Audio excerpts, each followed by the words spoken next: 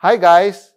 Join me as I shoot a maternity session using one speed light.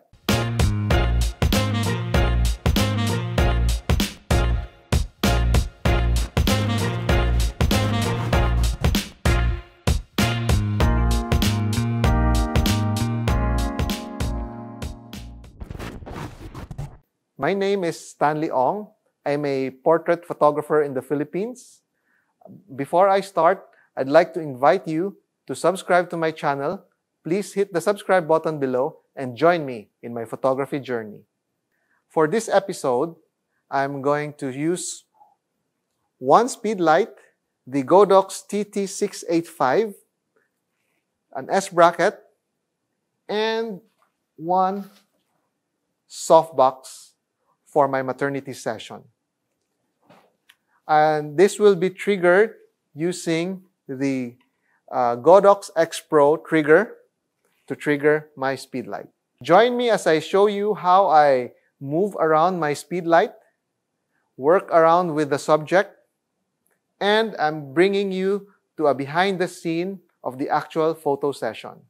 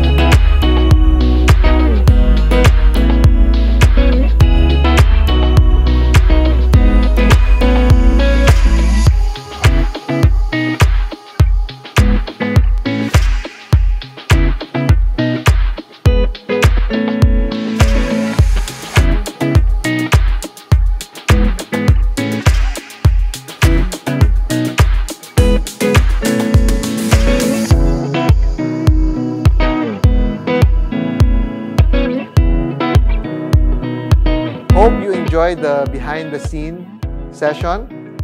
Um, and uh, here are some of the final images from that photo shoot.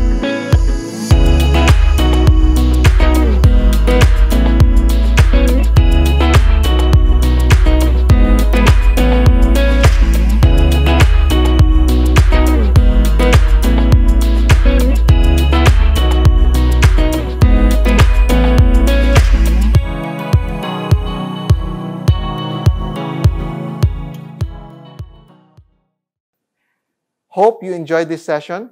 If you learned something from it, please hit the like button below and don't forget to subscribe to my channel. Also, if you have a topic you want me to discuss, please write it down in the comments section below. Once again, thank you very much and see you in my next episode.